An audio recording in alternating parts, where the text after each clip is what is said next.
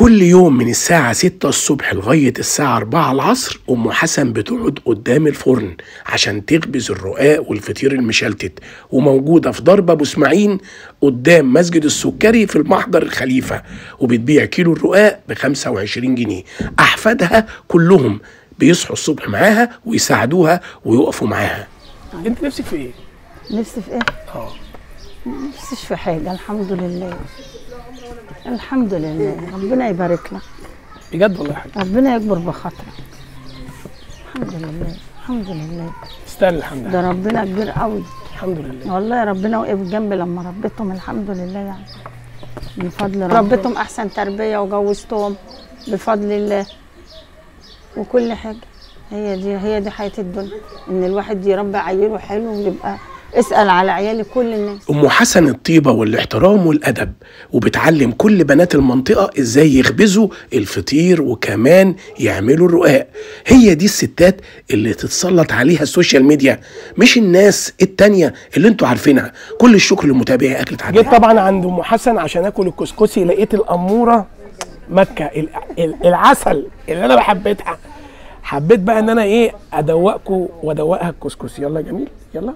بسم الله. فين الرعشه الجميله الرعشه مكة. أحلى سلام لكل متابعي اكل عدنان بقالي 30 سنة أهو بشتغل 30 سنة بتشتغل. طيب في حد بيساعد حضرتك؟ أيوه ولادي. ولادي كلهم. طيب. ناس كنت بجيبهم اشغل آه. كنت بشغلهم معايا. بس لقيت إن ولادك هم يعني أولى الناس إن هم يبقوا معاكي. لا يعني عشان كبروا بقى يعني وبيعملوا معايا البنات وكده. بس اتجوزوا بقى دلوقتي. طيب حضرتك ال- الحاجات اللي انت بتعمليها إيه هي؟ اللي هو الفطير نعم. وال- والكسكسي والرقاق. هم دول حاجتي اللي أنا بعملها. طيب. ودول اللي أنا اشتهرت بيهم. والزبائن بتوعك بيقول لك منين؟ من آخر الدنيا. اللي بتيجي من مصر الجديدة واللي بتيجي من مثلا من عابدين. كل حاجة من كل حتة. من كل حتة بيجوا معايا. الكسكسي عندك بيبقى طعمه كده لما جيت دقته لقيته إن هو ناشف شوية آه. أنت بتعمليه ناشف عشان خاطر الناس تستخدمه في البيت مثلا يحطوا عليه الحليب وكده ولا الطبيعي هو بيبقى كده؟ لا هو بيبقى طري بس أنت ما بتحط عليه السمنة بيبقى طري إنما هو لا طالما معلوش سمنة كتير بيبقى ناشف شوية أنت بقى بتحط السمنة بمزاجك أنت طرية زي ما أنت عايز. عشان أنا ما بحطلوش سمنه أنا بديهولهم كده هم بيعملوه عندهم. يعني شوال الدقيق ممكن يعمل كام كيلو؟ لا كام كيلو؟ والله ما عايرته أنا بعمل بالبركة كده بركة ربنا كده. حبة ده وحبة ده كده. كده بتمشي. أيوه. طيب بالنسبة للفطير اللي عندك فلاحي طبعا أنت بتعمليه؟ الفطيرة الفلاحي أم زبدة فلاحي دي بتتعمل ب 40 جنيه. ب 40 جنيه. أم زبدة. آه. كام رق؟ ها؟ كام رق؟ ثلاث رقات ثلاث رقات أه. بتبقى في قلب الطاسة اللي بتبقى في هي الصينية دي وحجمها تقيل حجمها تقيل آه تعالي اعدلي ب ده. 40 جنيه. آه. أمال ال- ال- ال- اللي هي بقى العادية اللي هي رق واحد مثلا. لا دي بقى على قد الناس بقى ب 15 ب 20 ناس غلابة. أنا كنت بادئه الفطيرة وهي ب 2 جنيه. آه. كل ما الحاجة بتغلى الحاجة بتغلى عليك وعليا وعلى كل حاجة. وبالنسبة للرقاق؟ الرق بقى ببيع الكيلو 25 جنيه. آه ناشف ولا طري؟ ناشف وطري.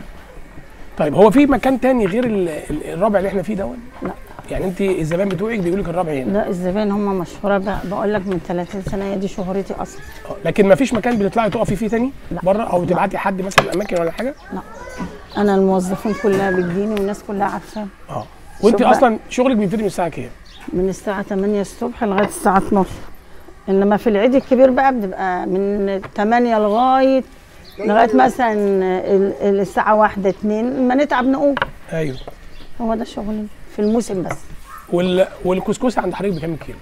الكسكسي حاليا دلوقتي ب 15 ب 15 في بقى حد بيقول لك تعالوا لنا الأفراح لا وكده و... ما بروحش عند حد. آه. أنا بعمله ببيتي ما بروحش لحد ببيته بعمل وأنا في بيتي كده هم يجوا ياخدوا يجوا ياخدوه. أنت تقول لي وغيرك كده يعني. طب هو ال- الكسكسي أكتر حاجة أكتر وقت يقعد فيه كام يوم؟ الكسكسي هو ما أعرفش بقى أنا بعمله أصنعه لا واديهولك لا لا لو أنا مثلا خدت منك الكسكسي وحبيت أستخدمه تحطه في التلاجة لو قعدت أسبوع مش هيجرى له حاجة وأكتر حاجة في الفريزر في الفريزر. الاحسن طبعا. لو سبته 20 يوم في الفريزر مش مفيش. مشكلة أنت بتعملي الحبة الناعمة صح؟ بعمل كل اللي أنت عايزه ال- من قطع كلام حضرتك الحبة الناعمة دي بتبقى ملوش معنى في الأكل. حلاوته إن هو بيبقى إيه؟ مخرس كده ليه بيبقى حلو في أكله. هو مفيش أنعم من كده كسكسي يعني أنعم من كده بقى هتجيبه. أنت شوف ده وشوف اللي بره. لا أنا هقول لك اللي بره بيبقى أنا أنا عارف اللي بره بيبقى بحس إن هو هايش شوية كده. هاي شوية عشان بيحط عليه مية. آه. يعني هو دلوقتي واقف بالعربية. بيسقيه مية. طول ما واقف يسقيه مية ينفش. ما دول لو انت حطيت عليهم حبة لبن هتلاقي الطبق قد كده. بينفش. الحباية بتزيد وتنفش. لكن نوع الدقيق بيختلف؟ أيوه إحنا بنعمل دقيق حلو نضيف اللي هو الزي... أنا شايف ال zero ال zero آه. أيوه. ما الدقيق كتير بس إحنا ما بنعملش إلا ده. أيوه. وأنا بقى عايز أعرف يعني إيه، معلش أنا آسف يعني يعني إيه عندك أولاد آه، حضرتك اسمك إيه؟ لا أنا معايا آه ولاد. آه. اسم حضرتك إيه؟ أنا اسمي أم حسن. أم حسن. آه. ومعاكي كام بنات وصبيان؟ معايا ثلاثة صبيان وثلاثة بنات. ربنا يخليهم لك. الستة بفضل الله بيساعدوكي؟ بي... لا. كل واحد مع نفسه بقى دلوقتي. ما أنت عارف الحياة عاملة إزاي. أيوه. كل واحد مع نفسه. طيب أنت تحبي تقولي إيه ل... للأمهات يعتبر اللي هيشوفوكي في الوطن العربي كله؟ آه. إيه الرسالة اللي أنت عايزة تبعتيها لهم؟ هقول يعني إن ال- المك... الواحد يكفي على لقمة عيشه أحسن. بدل ما يمد إيده لحد صح؟ صح. إيه، هي دي الحياة الحياة الحلوة إن أنت إيه الواحد يشتغل ويجيب لقمته بعرق عافيته ويشوف ولاده وربيتهم أحسن تربية وجوزتهم بفضل الله وكل حاجة. هي دي هي دي حياة الدنيا إن الواحد يربي عيله حلو ويبقى اسأل على عيالي كل الناس. ده سمعتك سبقاك يا حاج. أيوه أنت عارف أنا الحمد لله ولا بحب اشكل مع حد ولا ليا دعوة بحد. نعم. هي دي عشت طول حياتي. ماليش ما في حالك؟ في حالي بالأدب يعني ما نعم. وولاد الله اكبر عليهم الصبيان مؤدبين ومحترمين وكده. يعني ربنا يخليهم لك الحمد لله وربنا يبعد عنهم الوحش. يا رب. ورجالة ولادي ناس محترمة الحمد لله. يعني جوزتهم ناس محترمين نعم. وناس مؤدبين ويعرفوا ربنا وكويسين الحمد لله. ربنا يخليهم لك يا رب علمت بقى عيالي يعملوا إيه؟ أيوه علمتهم يعرفوا بيتهم إزاي ورجالتهم إزاي. يعني لو جات لك واحدة من بناتك زعلانة وكده لا. تقول لها اقعدي مفيش لا، لا، مشكلة؟ روحي بيتك. آه. ما تقعديش تقعدي عندي تعملي لي إيه؟ أيوه روحي بيتك لجوزك وعيالك أحسن. لا الواحده ملهاش الا بيتها حضرتك وعيالها. طالما جابت عيال هي دي يعني أيوه. علمتهم يعملوا زي ما أنا بعمل كده يعني يبقوا في بيوتهم يعرفوا إزاي. وأنت حضرتك طول النهار قاعدة قدام النار كده؟ لا ده أنا شوية بس بقوم يعني مش مش على طول. ده هو في الموسم بس بتاع العيد الكبير اللي بنقعد طول النهار. نعم. اما دلوقتي أنت عايز حبة ده عايز حبة بعمل معاه وخلاص. والكسكسي بنعمله بالطلب بالطلب ما أنا ماليش محل بره. أيوة. أنا على قد أجيب من المحل. نعم. المحلات غالية بره في المقطم شوف المحل بكام غالي جدا أنا بقى بعمل لزبايني بيجوا اللي عايزة 10 اللي عايزة 3 كده. الحمد أنا لله عايز أسألك سؤال. أنت نفسك في إيه؟ نفسي في إيه؟ آه. نفسيش في حاجة الحمد لله. الحمد لله. ربنا يبارك لك. بجد والله يا حاج ربنا يكبر بخاطرك. الحمد لله. الحمد لله. تستاهل الحمد لله. ده ربنا كبير قوي. الحمد لله. والله ربنا وقف جنبي لما ربيتهم الحمد لله يعني. المكان اللي إحنا فيه هنا فينا حاجة. المكان ده اللي إحنا فيه دلوقتي ده؟ آه إحنا دلوقتي في. درب. درب إسماعيل. ضرب إسماعيل. آه. في منطقة إيه؟ سكه 13 شارع المحجر. ها؟ أيوه. سكة الكون. أيوة. درب إسماعيل. انت بقى جيت من بره كده من أول ما تخش من الحارة دي اسمها درب إسماعيل. ضرب إسماعيل. آه.